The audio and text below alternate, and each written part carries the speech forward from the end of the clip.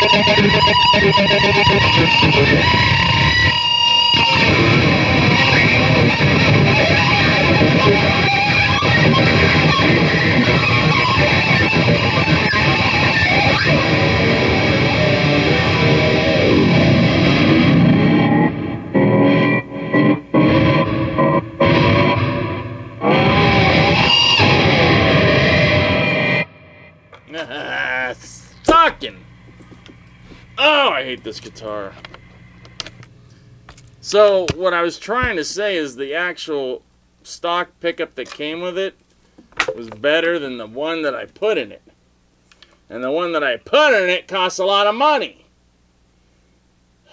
It doesn't have, you know, when I usually hit E and it growls, it ain't there. I don't like it. The play, it plays nice. You gotta get used to it because it's like playing a friggin' samurai sword. It's just woo woo. Jeez. But uh, yeah, this thing has been sitting in its white case for uh, a year. I don't know. But it's cool. It has this. I like that. It's so he can, you know, you know, and then the pack.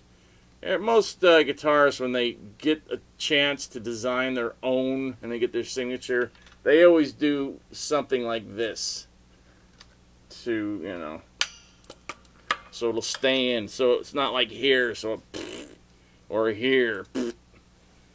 It's smart. Randy did it. Up here on the top wing was cool. Sheesh. Just that alone made the friggin' thing cool. So I'm unplugged. I'm done. Uh, sorry. Uh, I'll tell you a story. I'll tell you a story. Because I was thinking about this last night. I actually was thinking. Uh, I had a band. I was putting together Stiletto, actually. And it was me, my friend Tony, the bass player, Daz Bash. He went on and went to be uh, in uh, Paradise. Gay name, man. Gay isn't funny. Ah, but uh, it is stupid name. But Daz, unbelievable drummer. Like, even if he did partake in something, you could count on that guy to be like a friggin' bam, bam, bam, bam, bam, bam, bam. Like at the when we did a showcase at the country club for Arista Records, and they walked out on the third song, said this is the worst piece of shit band they had ever seen in their life. Go on YouTube. It's on there, part of it. The country club, Stiletto. Look up Stiletto 86 Country Club. Whoa. It's hard.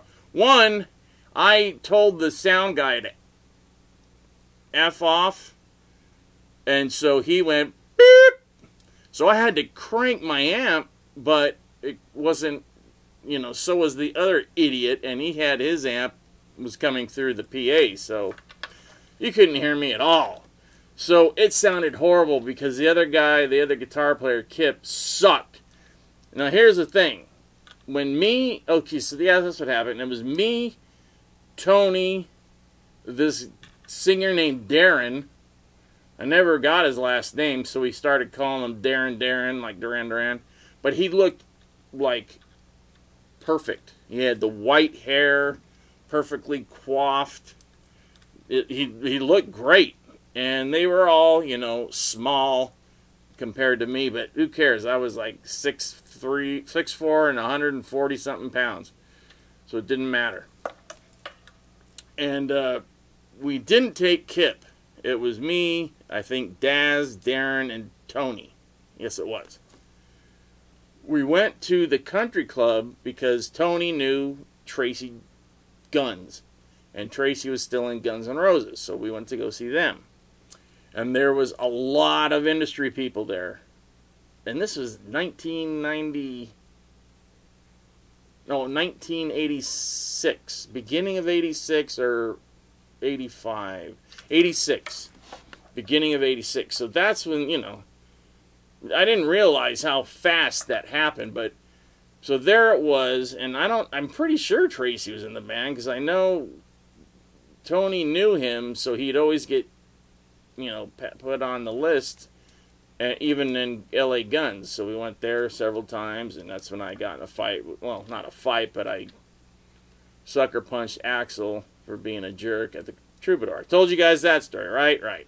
He thought I was picking up on his girlfriend. I went to the bar. His girlfriend followed me. She slid me her number. I got it, put it in my pocket. And then Axl comes up. You know, he's like five foot two. He's like, I'm like, dude, I'm not picking up on your girlfriend. I just came here to get a drink. She, I don't know, she came up with after me. I don't know, dude. I don't know her. I'm not trying to pick her up. It's like, dude, you better not, man. You're not effing my bitch, man. I'm like, you know what? Wham! And he just went down. Boop. And I said, bartender, because it's a really cool chick that worked there, usually during the weeknights. And this is L.A. Guns playing they already had a record out and they're playing like Tuesday night Troubadour. And there was hardly anybody there. It was like 50 people. And uh, so she said, okay, get out so you don't get in trouble. And I told the doorman, Mike, everybody got to remember Mike at the Troubadour. He was the door guy, big, tall, black dude. Very cool, very nice. But if you messed around, you were getting thrown out on your head. So I told him, dude, I had to, I had to sucker punch this guys behind the bar. He's like, ah, don't, you know, don't worry about it, because we were buds. Because I had played in a band, a couple. Well, here's a story, and we'll end on this. It's not a, it's not a very good. It's not. Mm. So okay, so I hit Axl. So what I was saying is, the first, let's go back to the country club. So me, Tony, Darren, Darren, and Daz were at the country club to see Guns N' Roses and walk out on them because they were horrible. A lot of people were. I mean, most of the people just turned around and walked out. And this is the country club. I can't remember who else was playing, but the guys, somebody, I can't remember what record company or what label they were from, but they're like, "You guys in a band?" And we're like, "Yeah." What's the name? I said, "Stiletto." So, hey, that's a good name. Like uh, one guy's like, you guys could get signed on your looks alone. I'm like, fuck yeah, of course we're good. 1986. And we're like, hell yeah, man. So Tony's like, come on, let's celebrate. So we went into the bathroom, came back, and that was that. We talked, talked, talked, talked. They gave us cards. We gave them cards. Apparently, they came in sauce once in stiletto, but unfortunately, Daz had a roommate. The roommate was a horrifyingly bad guitar player. Apparently, he's a little better now. But he was came. He had to come with the deal. So if Daz came into the band, so did Kip, and it just ruined the band. So we played a bunch of gigs from like June till the end of summer, like October, September, October. Then I broke the band up and then started Trick or Treat. So what was the story? That okay, so that was that. So the troubadour. So this, so Mike, the, the door guy, cool guy. So I'm playing in this other band, and Trey is singing, and he's still in high school, so he's squeaking, and he's got you know tight little pink spandex, and you know he just he wasn't getting it. Eventually he got it, but at that time he wasn't getting it. So he's squeaking away there on stage, and I'm playing, and I'm like, yeah, gotta do something heavy. So I was also trying to think of gimmicks. You know? A friend of mine was living in my garage. A lot of people lived in that garage. Mandy did, Chris Holmes, uh, and my friend Bill. And we were friends from high school, but he was like a, well, uh, what do you call it, a liar. Uh, perpetual, not perpetual, uh, but the other thing, liar. He lied all the time about everything. And it got him in trouble. So he's living in my garage. I had to kick him out with his wife which was very r- ridiculous. I said, dude, if you're gonna live here, I want a, I want a refrigerator full of beer, you know, Miller and wine coolers, California coolers. I love those things, orange. So he'd go down and he'd write bad checks, and he'd have that thing stocked, and I just go out, you know, wake up around two, go outside, blah blah blah blah blah, and lay in the backyard. That was good, but I had to kick him out. So I kicked him out and he left all his stuff there, all his belongings. So after like three months of calling him, he's not calling me back. So I started going through the stuff, and I found pictures of his ex-wife because his wife divorced him, and she was a little chunky. She was a lot chunky, and so apparently, because we had, you know, I had a drum set in there, and we would kind of jam. We'd tell them, "You got to get out because we're gonna jam a little bit." So there's a drum set, and a, my Marshall, and a bass amp. So apparently, I don't know why, but he had her put the drumsticks in an area that they shouldn't go, but they were there, and he took pictures. Lots of them. Like 20 or 30 of them.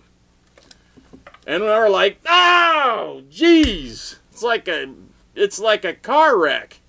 You can't look away, but you keep looking because it doesn't look right. It's like a hippopotamus swallowing twigs. I don't know what the hell.